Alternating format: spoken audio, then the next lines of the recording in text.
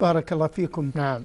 آه، شيخ صالح آه، السائل يقول قرأت حديث العمرة إلى العمرة كفارة لما بينهما والحج المبرور ليس له جزاء إلا الجنة.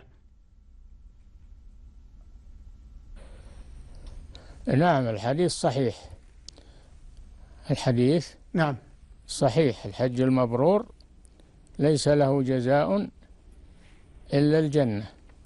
والحج المبرور هو ما اجتمع فيه أمران الإخلاص لله جل وعلا والمتابعة للرسول صلى الله عليه وسلم.